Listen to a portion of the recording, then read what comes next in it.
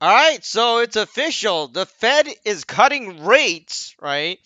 Well, I guess they announced that they're they cut rates by 50 basis points in the US. Now, they have been cutting rates in Canada for a few months now. And I've always said that Canada is the testing ground.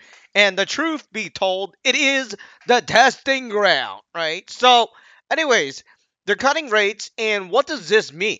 Well, essentially, what it means is that inflation is basically going to skyrocket sooner or later at some point. I mean, we haven't even felt inflation, right? Um, in the way that should be felt in many years because a lot of the Western countries have been printing a huge amount of currency in order to save the US from the financial crisis in 2008. And it's been 15 years. People forget about it.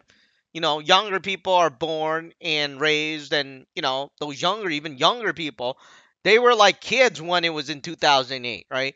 So basically, most of them are just around their 20s and 30s now.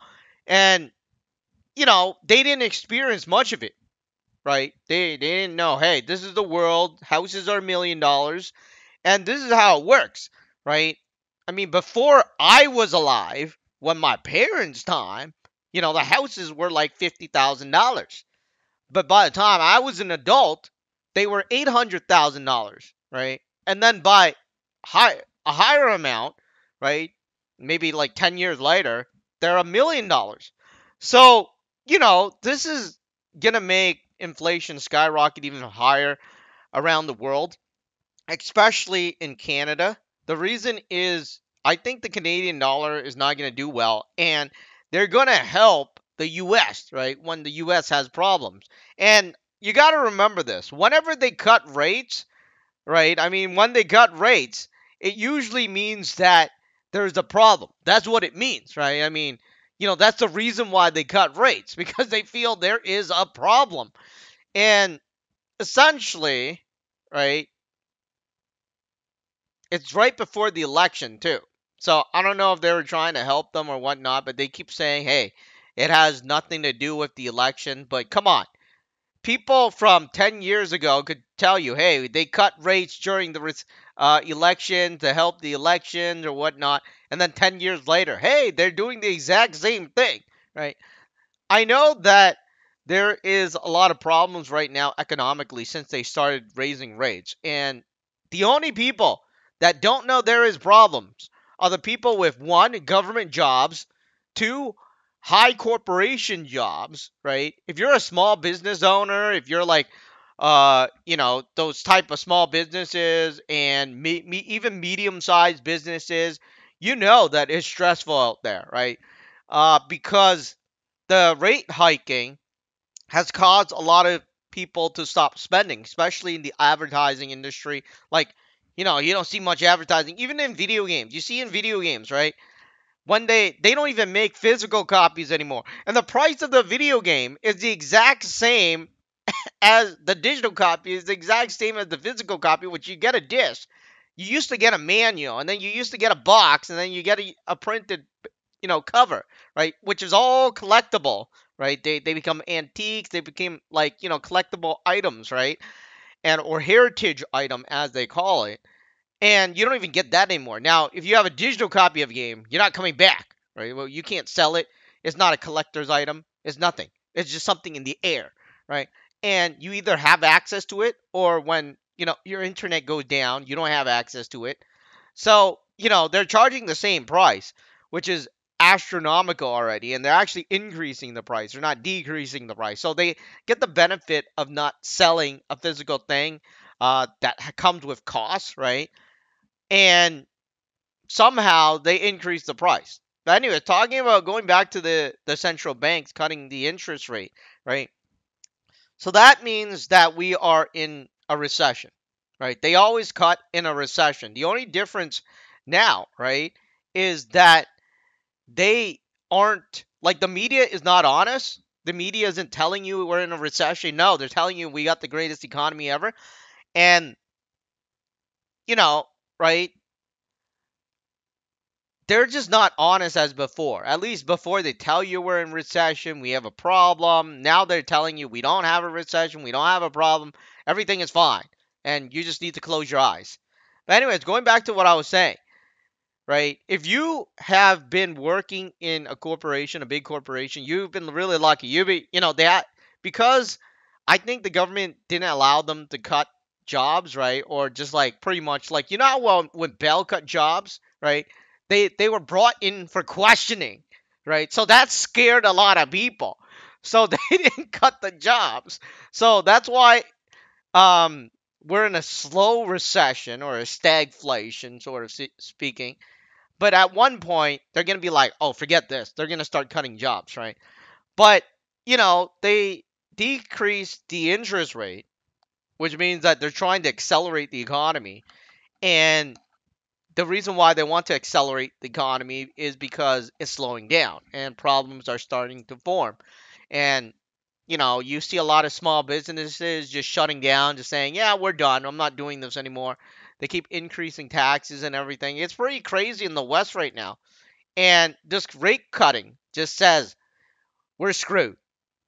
Right? Once they start rate cutting, they're going to start stimulus and then because last time in 2008 when they started doing all this, right? The rate cut, the stimulus and everything, right?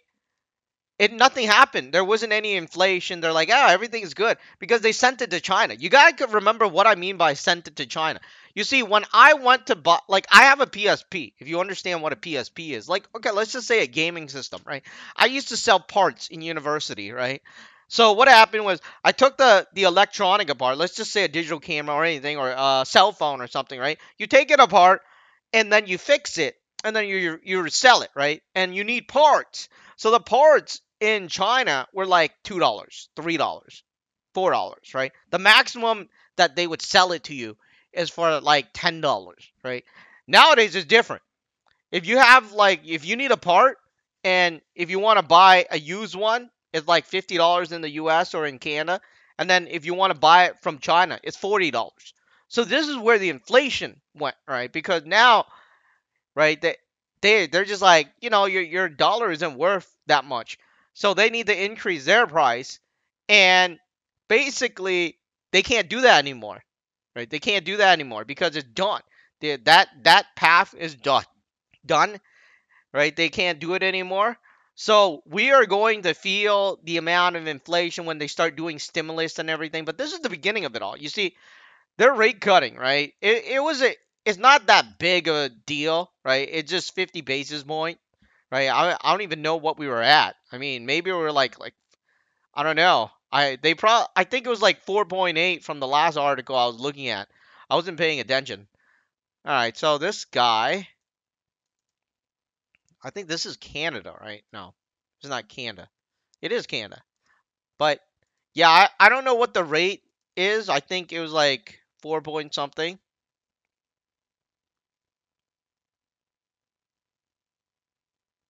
Okay, so it's 4.75%. Oh, no, wait.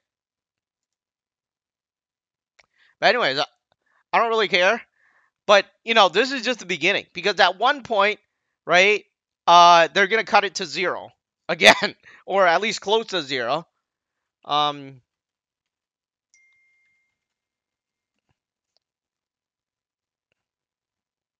Oh, I got a phone call.